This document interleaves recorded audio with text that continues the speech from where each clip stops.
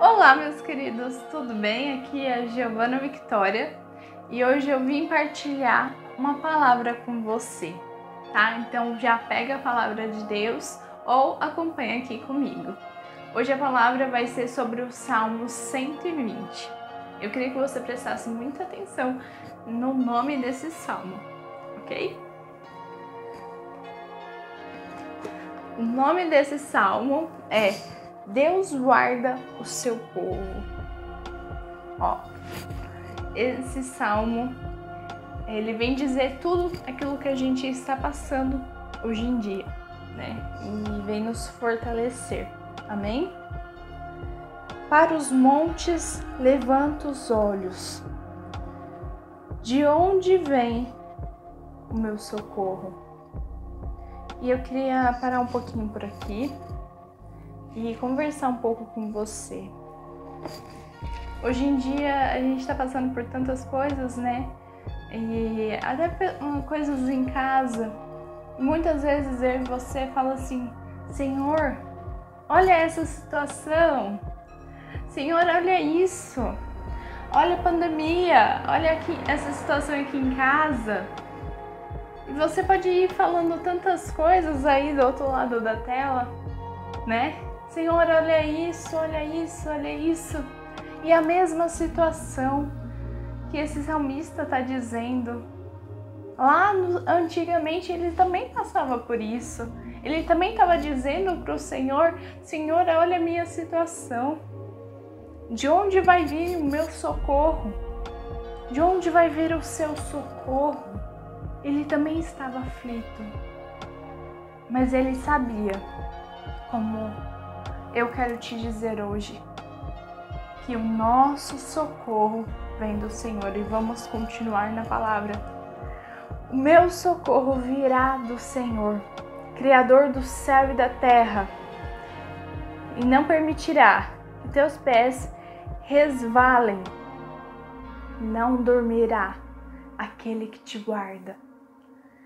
Não, não dormirá, nem adormecerá o guarda de Israel. E nesse momento, quando vai dizer Israel na palavra, nós podemos trocar Israel pelo nosso nome. E eu queria que nesse momento você trocasse. Não, não há de dormir, nem de adormecer, guarda de Israel. Não há de dormir nem de adormecer, guarda da Giovana não há de dormir nem de adormecer o seu guarda. O Senhor é seu guarda, Ele é o seu abrigo e sempre está ao seu lado. De dia o sol não te fará mal, de noite nem à noite.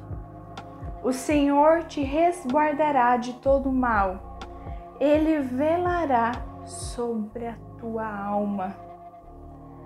O Senhor guardará os teus passos agora e para sempre. E nessa passagem eu queria te dizer realmente para ter uma plena fé, uma plena confiança em Deus. Que por mais muitas vezes nós é, saímos do amor dele, saímos da presença de Deus, ele nunca se esquece de cada um de nós. Ele nunca deixa de nos amar. Você entende isso, a profundidade disso? O Senhor nunca deixa de nos amar, de nos amar. E nessa passagem ele fala que ele continua nos protegendo, nos guiando, guiando nossos passos agora e para sempre.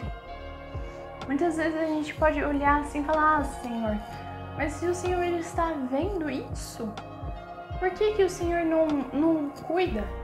Por que, que o Senhor permitiu que isso acontecesse? Momentos que nós colocamos no cotidiano na presença de Deus. Como colocaram também o mesmo questionamento quando Lázaro, o grande amigo do Senhor, colocaram um questionamento falando: onde você estava, Senhor?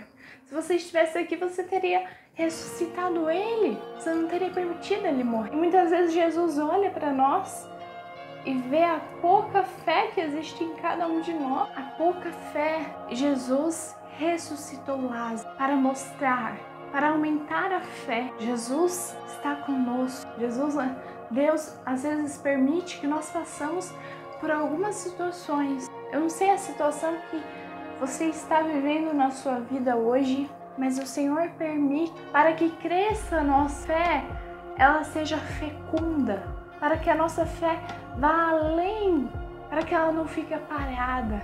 Está, se você gostou, dê seu like, comenta aqui embaixo, compartilha com mais pessoas para que a mensagem atinja mais corações. Se inscreve aqui, salve Maria Imaculada.